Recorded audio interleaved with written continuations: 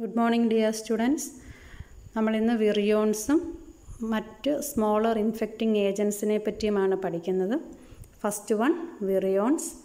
വിറിയോൺസ് എന്ന് പറഞ്ഞാൽ they are complete fully developed viral particles but they are incapable of multiplying themselves സ്വന്തമായിട്ട് മൾട്ടിപ്ലിക്കേഷന് കഴിവില്ലാത്ത ഫുള്ളി ഡെവലപ്ഡ് ആയിട്ടുള്ള ഒരു കംപ്ലീറ്റ് വൈറൽ പാർട്ടിക്കിളിനെയാണ് നമ്മൾ വിറിയോൺസ് എന്ന് പറയുന്നത്. They are extra cellular phase of virus host സെല്ലിന് പുറത്തിരിക്കുന്ന വൈറസിന്റെ രൂപങ്ങളെയാണ് നമ്മൾ വിറിയോൺസ് എന്ന് പറയുന്നത്. അപ്പോൾ വിറിയോൺസ് എന്ന് പറഞ്ഞാൽ വൈറസ് തന്നെയാണ്. പക്ഷേ പ്രത്യേകത എന്താ? ഹോസ്റ്റ് സെല്ലിന് പുറത്തിരിക്കുകയാണ്. അതുകൊണ്ട് തന്നെ അതിന് സ്വന്തമായിട്ട് റെപ്ലിക്കേറ്റ് ചെയ്യാനുള്ള കഴിവില്ല. But they are capable of infecting a host cell ഒരു ഹോസ്റ്റ് സെല്ലിനെ ഇൻഫെക്റ്റ് ചെയ്യാനുള്ള കഴിവുണ്ട്. അങ്ങനെ ഇൻഫെക്റ്റ് ചെയ്തതിന് ശേഷം ആ ഹോസ്റ്റ് സെല്ലിലേക്ക് ഇൻവാജിനേറ്റ് ചെയ്ത് അതിനകത്തിൽ കയറിയിട്ട് എന്താണ് അതിന്റെ മെഷീനറി ഉപയോഗിച്ച് റെപ്ലിക്കേറ്റ് ചെയ്യാനുള്ള മൾട്ടിപ്ലിക്കേഷന് വിധേയമാകാനുള്ള കഴിവുണ്ട്. അപ്പം വിറിയോൺസ് എന്ന് പറഞ്ഞു കഴിഞ്ഞാൽ they are fully developed extra cellular phase of virus incapable of self multiplication structure of virions സാധാരണ വൈറസുകളുടെ അതേ സ്ട്രക്ചർ തന്നെയാണ്. വൈറസ് വൈറസ് തന്നെയാണ് വിറിയോൺസ് എന്ന് പറയുന്നത്. അപ്പോൾ അവരുടെ അതേ സ്ട്രക്ചർ തന്നെയാണ് വിറിയോൺസിനും ഉള്ളത്. ഒരു ജനറ്റിക് മെറ്റീരിയൽ ഉണ്ട്.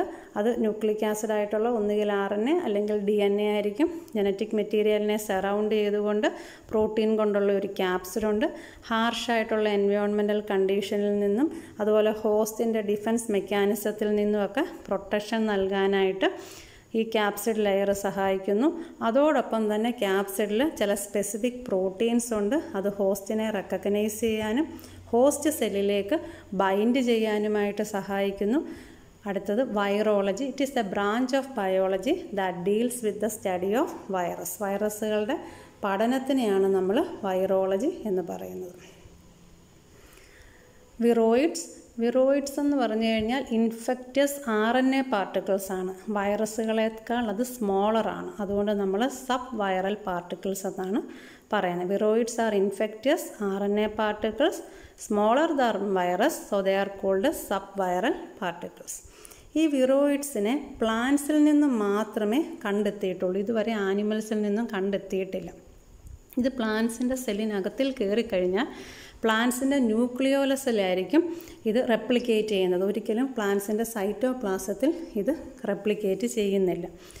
പിന്നീട് വിറിയോയിഡ്സിന്റെ അടുത്തൊരു പ്രത്യേകത അത് നോൺ പതോജനിക്കോ അല്ലെങ്കിൽ മൈൽഡ്ലി പതോജനിക്കോ ആയിരിക്കും. പ്ലാന്റ്സിൽ വലിയ ഇൻഫെക്ഷൻസ് ഒന്നും വിറോയിഡ്സ് കാര്യമായിട്ട് ഉണ്ടാക്കുന്നില്ല. എന്നാൽ ലീതൽ പ്ലാന്റ് ഇൻഫെക്ഷൻസ് ഉണ്ടാക്കുന്ന ചില വിറോയിഡ്സിനെയും കണ്ടെത്തിയിട്ടുണ്ട്. ടിയോ ഡൈനർ എന്ന് പറയുന്ന ബൊട്ടാണിസ്റ്റാണ് പൊട്ടറ്റോ പ്ലാന്റ്സിൽ നിന്നും വിറോയിഡ്സിനെ ആദ്യമായിട്ട് ഐസൊലേറ്റ് ചെയ്തത്. ഇപ്പോൾ വിറോയിഡ്സിന്റെ പ്രത്യേകത ഇൻഫെക്റ്റസ് ആയിട്ടുള്ള R N A particle they are smaller than virus and they are infect only plants structure of viroids. വിറോയിഡ്സിന്റെ genetic material എന്ന് പറയുന്നത് സർക്കുലാറാണ് എന്റെ ജനറ്റിക് മെറ്റീരിയലിന്റെ സ്ട്രക്ചറാണ് നമ്മൾ പറയുന്നത്. എന്റെ ജനറ്റിക് മെറ്റീരിയൽ എന്ന് പറയുന്നത് സർക്കുലാറാണ് അതുപോലെ single standard R N A ആണ് എന്റെ ജനറ്റിക് മെറ്റീരിയൽ ആ ആർ എൻ എ ഏകദേശം two fifty to four hundred nucleotides കൊണ്ടാണ് ഉണ്ടാക്കിയിരിക്കുന്നത്. പക്ഷേ ഈ സർക്കുലറായിട്ടുള്ള ഈ single standard R N A ഒരു റോഡ് ലൈക്ക് സ്ട്രക്ചറായിട്ട് ഫോം ചെയ്താണ് കാണപ്പെടുന്നത്. ഇങ്ങനെ ഇതൊരു നീണ്ട റോഡ് ലൈക്ക് സ്ട്രക്ചർ ആവാൻ കാരണം ഈ സർക്കുലറായിട്ടിരിക്കുന്ന ആർ എൻ എയിലെ ന്യൂക്ലിയോറ്റൈഡുകളെല്ലാം കൂടെ ഒരു ഇൻട്രാസ്ട്രാൻഡ് ബേസ് പെയറിങ്ങിന് ബേസ് പെയറിങ് ഫോം ചെയ്ത് ഒരു സ്റ്റെം ലൂപ്പ് കോൺഫിഗറേഷൻ ഫോം ചെയ്യുന്നു. ആ സ്റ്റെം ലൂപ്പ് കോൺഫിഗറേഷനാണ് ഡയഗ്രത്തിൽ കാണിച്ചിട്ടുള്ളത്. അപ്പോൾ ഇങ്ങനത്തെ ഒരു സ്ട്രക്ചർ നമ്മൾ നോക്കിക്കഴിഞ്ഞാൽ നമുക്ക് നാല് ഡിഫറെന്റ് റീജിയൻസ് ആണ് വിറോയിഡ്സിന്റെ ആർ എൻ എയിൽ കാണാൻ പറ്റുന്നത്. ഒരു സെൻട്രൽ കൺസേർവ്ഡ് റീജിയൻ അതുപോലെ ഒരു പതോജനിക് റീജിയൻ കാണുന്നുണ്ട് വേരിയബിൾ റീജിയൻ കാണുന്നുണ്ട് രണ്ടറ്റത്തുമായിട്ട് ടെർമിനൽ റീജിയൻസ് കാണപ്പെടുന്നുണ്ട്. അപ്പോൾ വിറോയിഡ്സിന്റെ ക്രോമസോം അല്ലെങ്കിൽ അതിന്റെ ആർ എൻ എയുടെ പ്രത്യേകത എന്ന് പറഞ്ഞു കഴിഞ്ഞാൽ അത് സർക്കുലർ ആണ്. എന്നാൽ പോലും അതൊരു റോഡ് ഷേപ്ഡ് സ്ട്രക്ചറായിട്ടാണ് ഫോം ചെയ്തേക്കുന്നത്. അതിന്റെ കാരണം ഇൻട്രാ സ്ട്രാൻഡ് ബേസ് പെയറിങ് മൂലമാണ് അങ്ങനെ ഫോം ചെയ്തേക്കുന്ന സ്റ്റെം ലൂപ്പ് കോൺഫിഗറേഷനിൽ ഒരു സെൻട്രൽ കൺസേർവ്ഡ് റീജിയൺ ഉണ്ട് ഒരു പതോജനിസിറ്റി റീജിയൺ ഉണ്ട് വേരിയബിൾ റീജിയൺ ഉണ്ട് രണ്ടറ്റത്തുമായി ടെർമിനൽ റീജിയൺ ഉണ്ട് വിറോയിഡ്സിന്റെ പ്രത്യേകത അതിൽ ക്യാപ്സിഡ് ഇല്ല. അപ്പോൾ സ്ട്രക്ചർ പറയുമ്പം നമുക്ക് അതിന്റെ ജനറ്റിക് മെറ്റീരിയലായിട്ടുള്ള ആർ എൻ എ മാത്രമേ സ്ട്രക്ചറിൽ പറയാനുള്ളൂ. അടുത്തത് വിറുസോയിഡ്സ് ആണ്. വിറുസോയിഡ്സ് എന്ന് പറഞ്ഞാൽ small single standard R N A molecules of five hundred to two thousand nucleotide length അപ്പോൾ ആർ എൻ എ മോളിക്യൂൾസ് ആണ് വിറുസോയിഡ്സ് എന്ന് പറയുന്നത്. വിറുസോയിഡ്സിൽ ഏകദേശം അഞ്ഞൂറ് തൊട്ട് രണ്ടായിരം വരെ ന്യൂക്ലിയോറ്റൈഡ്സ് നീളമുള്ള ആർ എൻ എ മോളിക്യൂൾസ് ആയിരിക്കും. ഇവർക്ക് റെപ്ലിക്കേഷന് വേണ്ട ജീനുകൾ വിറിസോയിഡ്സിന് കാണപ്പെടുന്നില്ല. അപ്പം വിറിസോയിഡ്സിന് മറ്റൊരു ഹോസ്റ്റ് സെല്ലിനെ ഇൻഫെക്റ്റ് ചെയ്യണം എന്നുണ്ടെങ്കിൽ വിറിസോയിഡ്സ് മറ്റു വൈറസുകളുടെ സഹായം തേടും. അങ്ങനെ വിറിസോയിഡ്സിനെ സഹായിക്കുന്ന മറ്റു വൈറസുകളെ പറയുന്ന പേരാണ് സാറ്റലൈറ്റ് വൈറസ്. അപ്പോൾ സാറ്റലൈറ്റ് വൈറസ് വിറിസോയിഡിന് വേണ്ട മോളിക്കുലാർ മെക്കാനിസം ഒക്കെ കൊടുക്കും. വിറിസോയിഡിന് സർവൈവലിനും മൾട്ടിപ്ലിക്കേഷനും ഒക്കെ വേണ്ട സഹായങ്ങൾ ചെയ്തു കൊടുക്കുന്ന വൈറസുകളെ പറയുന്ന പേരാണ് സാറ്റലൈറ്റ് വൈറസ്. അപ്പോൾ അതിനൊരു എക്സാമ്പിൾ ഹെപ്പറ്റൈറ്റിസ് ഡെൽറ്റ വൈറസ് ആണ് ഒരു വിറുസോയിഡ് നമ്മളെ ഇൻഫെക്റ്റ് ചെയ്യുന്ന ഒരു വൈറസാണ് ഹെപ്പറ്റൈറ്റിസ് ഡെൽറ്റ വൈറസ് പക്ഷേ അതിന് സ്വന്തമായിട്ട് ഇൻഫെക്റ്റ് ചെയ്യാനോ അല്ലെങ്കിൽ നമ്മൾക്ക് റെപ്ലി നമ്മുടെ ബോഡിയിൽ കയറിക്കഴിഞ്ഞാൽ റെപ്ലിക്കേഷന് വിധേയമാകാനോ ഉള്ള കഴിവില്ല. അതുകൊണ്ട് വിറുസോയിഡ് ആയിട്ടുള്ള ഹെപ്പറ്റൈറ്റിസ് ഡെൽറ്റ വൈറസിനെ ഹെൽപ്പ് ചെയ്യാനായിട്ടുള്ള സാറ്റലൈറ്റ് വൈറസ് ആയിട്ട് ആക്ട് ചെയ്യുന്നത് ഹെപ്പറ്റൈറ്റിസ് ബി വൈറസ് ആണ് ഹെപ്പറ്റൈറ്റിസ് ബി വൈറസ് അത് സാറ്റലൈറ്റ് വൈറസ് ആയിട്ട് ആക്ട് ചെയ്തുകൊണ്ട് വിറുസോയിഡ്സിന് വേണ്ട മെഷീനറീസ് സർവൈവലിനും മൾട്ടിപ്ലിക്കേഷൻസിനും മൾട്ടിപ്ലിക്കേഷനും ഒക്കെ വേണ്ട മെഷീനറിയെ പ്രൊവൈഡ് ചെയ്യുന്നു. അപ്പോൾ വിറുസോയിഡ്സ് എന്ന് പറഞ്ഞാൽ R N A R N A molecules ആണ് അതിന് റെപ്ലിക്കേഷനുള്ള ജീനില്ല. റെപ്ലിക്കേഷന് വേണ്ട സഹായത്തിന് സാറ്റലൈറ്റ് വൈറസിനെ അത് ഡിപ്പെൻഡ് ചെയ്യുന്നു. എക്സാമ്പിളാണ് വിറുസോയിഡിന്റെത് hepatitis delta virus. Hepatitis delta വൈറസിനെ ഹെൽപ്പ് ചെയ്യുന്ന വൈറസാണ് hepatitis B virus. Virusoids are small single standard R N A molecules which replicate with the help of other virus named satellite viruses prions are misfolded proteins misfolded proteins എന്ന് പറഞ്ഞാൽ protein സിന്തസിസിന് ശേഷം നല്ല രീതിയിൽ മടങ്ങാത്ത conformation form ചെയ്യാത്ത പ്രോട്ടീൻസിനെ പറയുന്ന പേരാണ് misfolded proteins അപ്പോൾ ആ മിസ്ഫോൾഡഡ് പ്രോട്ടീൻസിന് എക്സാമ്പിളാണ് പ്രിയോൺസ് എന്ന് പറയുന്നത്. പ്രിയോൺസ് അബ്നോർമലായിട്ടുള്ള അഗ്രിഗേറ്റ്സ് ഫോം ചെയ്യുന്നു. അഗ്രിഗേറ്റ്സിനെ പറയുന്ന പേരാണ് അമൈലോയിഡ്സ് അമൈലോയിഡ്സ് പല ന്യൂറോ ഡീജനറേറ്റീവ് ഡിസോർഡേഴ്സിനും കാരണമാകുന്നു example Alzheimer's disease Parkinson disease etcetera ഈ പ്രിയോൺസ് റോഡ് ലൈക്ക് സ്ട്രക്ചറായിട്ട് അറേഞ്ച് ചെയ്തിട്ട് അത് ഒരു അറേ ഫോം ചെയ്യുന്നു. ഒന്നിന് പുറത്ത് ഒന്ന് അടുക്കി വെച്ചേക്കുന്ന രീതിയിൽ ഒരു ക്രിസ്റ്റലൈൻ അറേ ഫോം ചെയ്യുന്നു. ആ അറേയിൽ ഏകദേശം തൗസൻഡ്സ് ഓഫ് പ്രിയോൺ മോളിക്യൂൾസ് വരെ കാണപ്പെടുന്നു. പ്രിയോൺസിന്റെ പ്രത്യേകത നമ്മൾ പ്രോട്ടീനേഷ്യസ് മെറ്റീരിയൽ ആണെന്ന് പറഞ്ഞു. മിസ്ഫോൾഡഡ് പ്രോട്ടീൻ ആണെന്ന് പറഞ്ഞു. പക്ഷേ അതിന് ജനറ്റിക് മെറ്റീരിയൽ ഒന്നും തന്നെ ഇല്ല. എന്നിരുന്നാൽ പോലും അതിന് സ്വന്തമായിട്ട് ഐഡന്റിക്കൽ കോപ്പീസിനെ പ്രൊഡ്യൂസ് ചെയ്യാനുള്ള കഴിവുണ്ട്. Prions are infectious pathogenic self replicating proteinaceous material devoid of nucleic acid infections caused by prions. Prions മൂലം ഉണ്ടാവുന്ന രോഗങ്ങൾ എന്തൊക്കെയാണ്? പ്രിയോൺസ് മമേലിയൻ സെല്ലുകളിലെല്ലാം തന്നെ ഇൻഫെക്ഷന് കഴിവുള്ള പ്രോട്ടീനേഷ്യസ് മെറ്റീരിയലാണ് മമേലിയൻ സെല്ലിനകത്തിൽ അകപ്പെട്ട് കഴിഞ്ഞാൽ അതിന് മറ്റ് പ്രോട്ടീന് പുതിയ പുതിയ പ്രിയോൺ പ്രോട്ടീനുകളെ പ്രൊഡ്യൂസ് ചെയ്യാനുള്ള കഴിവുണ്ട്. ഇത് ഗോട്ടിലും ഷീപ്പിലും ഉണ്ടാക്കുന്ന ഒരു ഡിസീസാണ് സ്ക്രൈപ്പ് എന്ന് പറയുന്ന ഡിസീസ് അതൊരു degenerative disorder of central nervous സിസ്റ്റമാണ് സ്ക്രൈപ്പ് എന്ന് പറയുന്നത്. സ്റ്റാൻലി ബി പ്രുസിനർ എന്ന് പറയുന്ന സയന്റിസ്റ്റാണ് ആദ്യമായിട്ട് ഈ ഡിസീസ് കണ്ടെത്തിയത്. അദ്ദേഹത്തിന് അതിന് ആയിരത്തി തൊള്ളായിരത്തി തൊണ്ണൂറ്റി ഏഴിൽ നോബൽ പ്രൈസ് കിട്ടി. ഈ സ്ക്രേപ്പ് ഡിസീസ് ഉള്ള ഷീപ്പിന്റെ ബ്രെയിനിൽ നിന്നും ഈ പ്രിയോൺസിനെ പ്യൂരിഫൈ ചെയ്ത് ക്യാരക്ടറൈസ് ചെയ്തതിനാണ് അദ്ദേഹത്തിന് നോബൽ പ്രൈസ് കിട്ടിയത്. അടുത്തൊരു ഡിസീസാണ് ബൊവൈൻ സ്പോഞ്ചിഫോം എൻസിഫാലി അല്ലെങ്കിൽ ബി എസ് സി എന്ന് പറയുന്നത് മാഡ് കൗ ഡിസീസാണിത് ഇത് യൂറോപ്പിലെ ഒത്തിരിയേറെ ക്യാറ്റിൽ അതിന്റെ പോപ്പുലേഷൻ കൊന്നൊടുക്കിയ ഒരു ഡിസീസാണ് ഈ മാഡ് കൗ ഡിസീസ് അല്ലെങ്കിൽ സ്പോ ബൊവൈൻ സ്പോഞ്ചിഫോം എൻസിഫാലി എന്ന് പറയുന്ന ഡിസീസ് ഇത് കൂടുതലായിട്ടും ഉണ്ടാകുന്നത് ക്യാറ്റിൽസും ഷീപ്പും ഒക്കെ ഈ സ്ലോട്ടർ ഹൗസിൽ നിന്നുമൊക്കെയുള്ള വേസ്റ്റുകൾ അതായത് അറ അറവുശാലയിൽ നിന്നൊക്കെയുള്ള വേസ്റ്റ് ഭക്ഷിക്കുന്ന കാറ്റിലും ഷീപ്പിലുമാണ് ഈ ബൊബൈൻ സ്പോഞ്ചിഫോം എൻസിഫാലി അല്ലെങ്കിൽ മാഡ് ഡിസീസ് എന്നുള്ള രോഗം ഏറ്റവും കൂടുതലായിട്ട് കണ്ടുവരുന്നത്. ഇനി ഹ്യൂമൻസിൽ എന്തൊക്കെ ഡിസീസുകളാണ് പ്രിയോൺസ് മൂലം ഉണ്ടാകുന്നതെന്നുള്ളതാണ് Creutzfeldt Jakob disease C G C J D എന്ന് പറയുന്ന ഡിസീസ്. ഇത് ഉണ്ടാ ഇതെന്ന് പറയുന്നത് ഈ ബൊവൈൻ സ്പോഞ്ചിഫോം എൻസിഫാലി വന്ന അതായത് മാഡ് കൗ ഡിസീസ് വന്ന ക്യാറ്റിലിന്റെ മീറ്റ് കഴിക്കുന്ന ആൾക്കാരിലാണ് ഈ ക്രൂസ്ഫൽ ജേക്കബ് ഡിസീസ് കാണപ്പെടുന്നത്. മറ്റൊരു ഡിസീസാണ് കുരു ഡിസീസ്.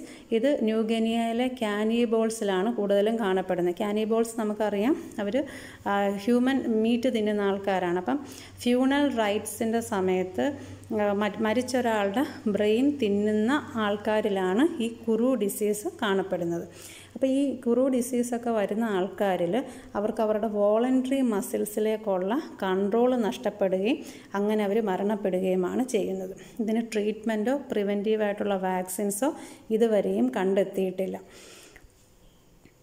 പിന്നെ ഹ്യൂമനിൽ ഉണ്ടാക്കുന്ന ഒരു ന്യൂറോ ഡീജനറേറ്റീവ് ഡിസോർഡറാണ് സ്പോഞ്ചിഫോം എൻസിഫാലോപ്പതി എന്ന് പറയുന്നത്. നമ്മൾ ബൊവൈൻ ഇ എസ് സി പറഞ്ഞില്ലേ? ബൊവൈൻ സ്പോഞ്ചിഫോം എൻസിഫാലോപ്പതി അത് ഓർ മാഡ് കൗ ഡിസീസ് ഇത് ക്യാറ്റിൽ ഉണ്ടാക്കുന്നതായിരുന്നു. ഇതുപോലെ തന്നെ ഹ്യൂമനിൽ ഉണ്ടാക്കുന്ന ഡിസീസാണ് സ്പോഞ്ചിഫോം എൻസിഫാലോപ്പതി. ഇതിന് ഇത് ഉണ്ടാക്കും ഇത് ഈ രോഗം വരുമ്പോൾ നമ്മുടെ നെർവസ് ടിഷ്യൂവിലെല്ലാം തന്നെ ഹോൾസ് ഫോം ചെയ്യുന്നു.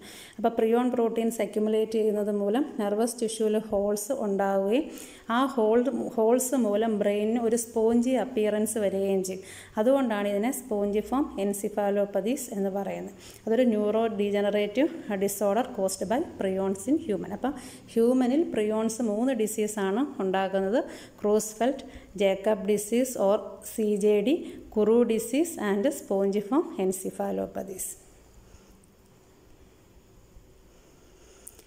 Next is mechanism of prion multiplication prions എങ്ങനെയാണ് മൾട്ടിപ്ലൈ ചെയ്യുന്നത്? നമ്മൾ പറഞ്ഞായിരുന്നു ജനറ്റിക് മെറ്റീരിയൽ പ്രിയോൺസിനില്ല എന്നാലും they are capable of self replication they are capable of replicating themselves അതെങ്ങനെയാണ് റെപ്ലിക്കേറ്റ് ചെയ്യുന്നതെന്നാണ് നമ്മൾ നോക്കാൻ പോകുന്നത്.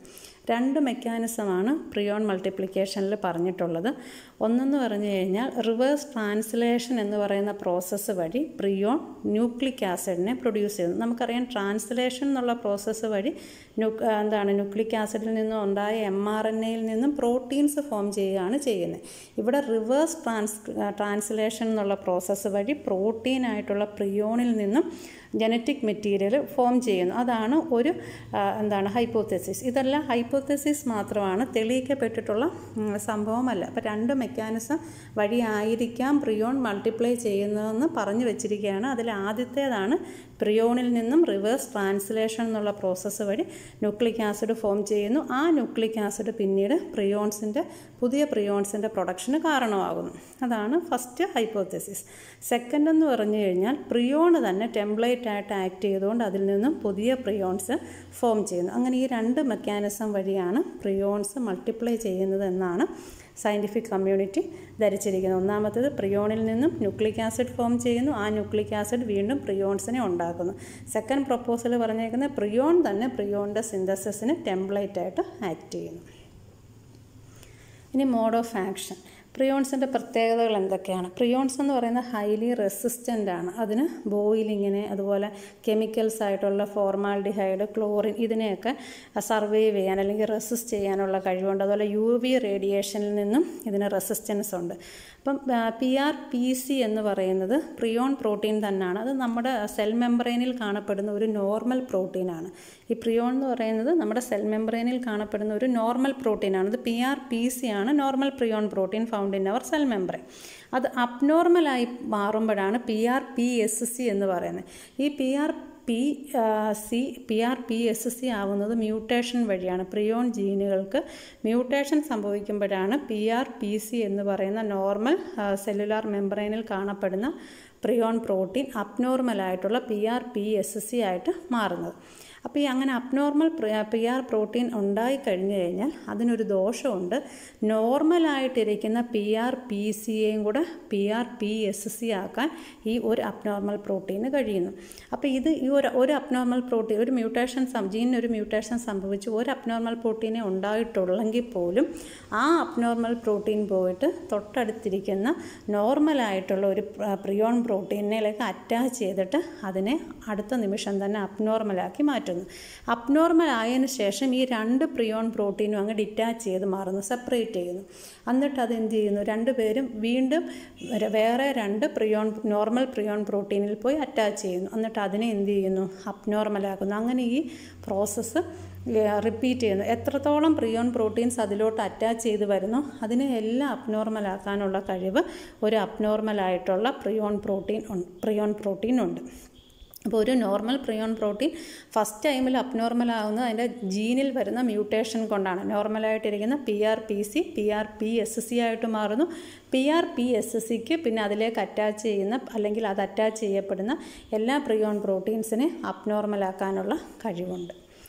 ഓക്കെ അപ്പം ഇങ്ങനെ അത് അബ്നോർമലായിട്ടുള്ള പ്രിയോൺ പ്രോട്ടീനുകൾ ബ്രെയിനിൽ അക്യുമുലേറ്റ് ചെയ്യുകയും അത് ബ്രെയിനിൽ പ്ലേക്സ് ഫോം ചെയ്യുകയും അങ്ങനെ ന്യൂറോ ഡീജനറേറ്റീവ് ഡിസീസ് നമ്മൾ നേരത്തെ പറഞ്ഞ സ്പോഞ്ചിഫോം എൻസിഫാലോപ്പതിയൊക്കെ വന്നിട്ട് ബ്രെയിൻസിൽ നിറച്ച് ഹോൾ വന്ന് രോഗി എന്താണ് മരണത്തിലേക്ക് നയിക്കപ്പെടുന്നു. ഓക്കെ. താങ്ക്